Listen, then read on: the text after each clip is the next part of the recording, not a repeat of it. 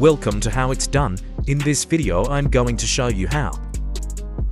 I turn this still image with no movement into a cinematic, motion graphic, so let's get straight into it. The first thing we're going to do is to open the CapCut app and then click on Create Project. Click on Import to import all your files you will be using to create cinematic motion graphics. I have my files in the library already. I will just play the image in timeline as you can see the image is still. And there's no movement. I am going to start with the sky effect first. Just going to add the clip to the timeline. The clip is long, so I will make it 5 second. I am choosing the part where it matches the sky in the image. Also I will make it to same length as image below in timeline. Now I will go to the top right side, under Video tab, find Mask. Then click on Add Mask, and I will choose Split Mask. On Video Player I will adjust the size and rotate it little bit. Then scroll down and find Feather. I will set the feather to 15. But you can set to match your image. Our sky does not have moon, I have the moon image in the library we can add. And now I will add the moon in timeline. I will resize in the video player and place it to where it fits the best. Also I will remove the background.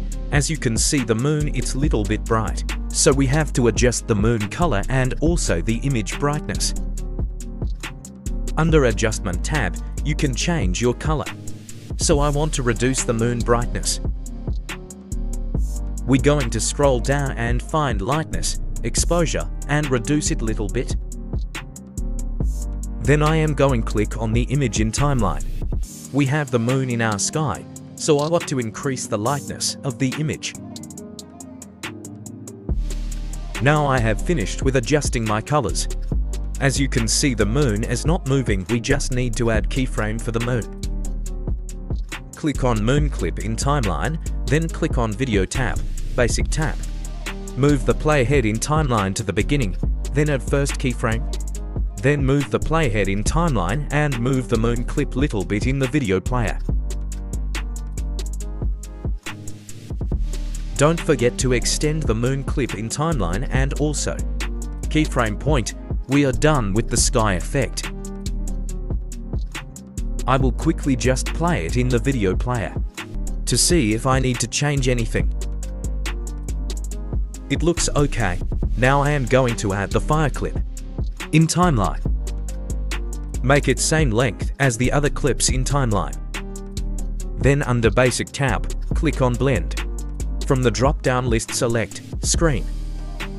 And on the video player resize and place it in the spot where the fire is on the image. Just playing the clip, I think we still have to make some adjustments.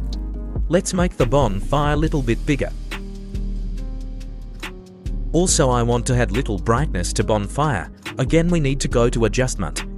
Play with colors until you get the right colors for your image. I am just trying different colors to see which suits our image. Bonfire should have reflection under the window. For that we need to create some type of flickering effect. Let's go copy the image in our timeline. You can hold on Alt and click on the image to duplicate it. Let's go to the Effect tab. Go to the search and type in strobe.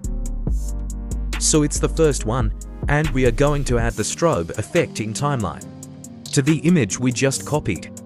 You can see the entire screen is flickering, but I just want the flickering effect to be just under the window wall. First I will adjust the flickering speed. Then go to Mask tab, Add Mask, and select a circle mask. I am adjusting the mask in Video Player to cover small area, where the reflection needs to take effect. I have made the circle mask small but I am increasing the feather.